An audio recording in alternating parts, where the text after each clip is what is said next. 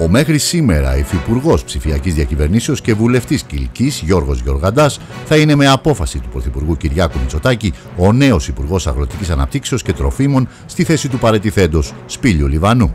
Η ορκομοσία του νέου Υπουργού ενώπιον της Προέδρου της Δημοκρατίας Κατερίνας Ακελαροπούλου θα γίνει αύριο στις 1.30 το μεσημέρι σύμφωνα με το Αθηναϊκό Πρακτορείο Ειδήσεων.